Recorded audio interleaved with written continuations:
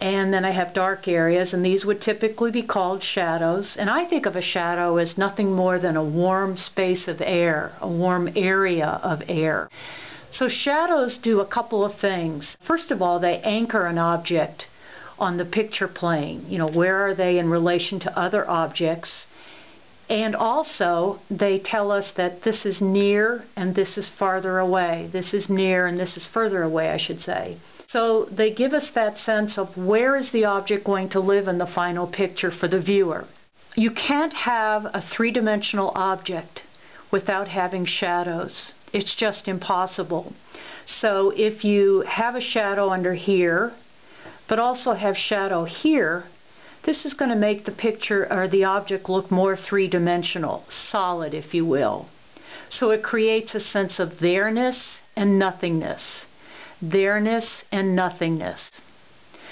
And lastly, I think that shadows are important in uh, representational art because it shows the viewer or allows the viewer a place to see activity and, and, excitement, if you will, in the lighted part of a picture, but it also provides a sense of calm, relief, quiet, if you will.